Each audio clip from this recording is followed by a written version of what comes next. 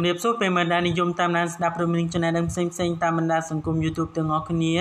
តែនេះខ្ញុំបាទសូមជូនព័ត៌មានថ្មីមួយក្រុមចំណងជើងថា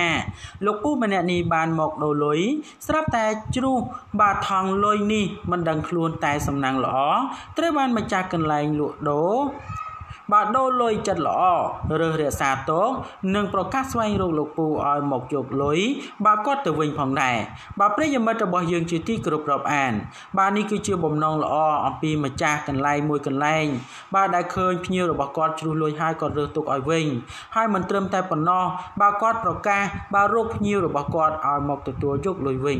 បាទនេះជារឿងល្អហើយក៏ជាអំពើល្អមួយ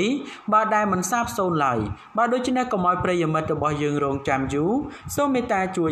Subscribe និង Like ករណីរើសបានលុយគឺយើងតែងតែឃើញមានការកើតឡើងជារឿយរឿយនៅក្នុងបណ្ដាញទំនាក់ទំនងសង្គម Facebook ដោយមហាជនរបស់យើងបានជ្រុះបាត់បាននៅតាមដងផ្លូវឬដងវិថីឬកន្លែងផ្សេងផ្សេងនៅពេលដែលគាត់នឹងកំពុងតែធ្វើចរាចរណ៍តាមដងផ្លូវ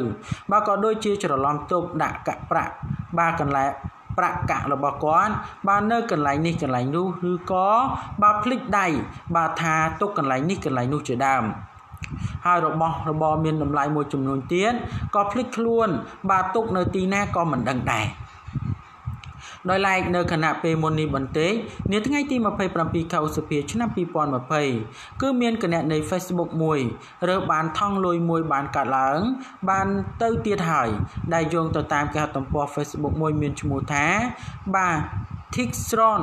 បាទឆនបាទដែលគាត់បានទើសបានលុយមួយចំនួន របស់លោកអ៊ំម្នាក់ដែលគាត់បានបន្តបាទបដូរលុយរួចក៏ជ្រុះតែម្ដង ក្នុងនោះផងដែរបើយោងទៅតាមគណនី Facebook ខាងលើ បានសរសេរប្រាប់រៀបរាប់ឲ្យដឹងថាសូមបងប្អូនជួយ share ឲ្យលោកពូគាត់បានឃើញផងបើគាត់នឹងបានបដូរលុយកន្លែងខ្ញុំ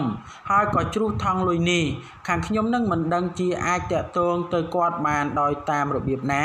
បាទទេបាទសូមផុសនៅក្នុង Facebook ក្រែងគាត់នឹងដឹងនឹងមកបាទយកលុយវិញបងប្អូនណាស្គាល់គាត់បាទសូមឲ្យគាត់នឹងមកទទួលលុយវិញផងអរគុណបងប្អូនទាំងអស់គ្នាដែលបានជួយ share បាទសង្ឃឹមថានឹងបានដល់លោកពូ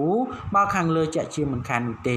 បាទដូចជាព័ត៌មាននេះមានប៉ុណ្ណឹងដើម្បីទទួលបាននូវព័ត៌មានថ្មីៗបន្ថែមទៀតសូម Subscribe និង Like Channel ខ្ញុំបាទសូមអរគុណនិងសូមគោរពលា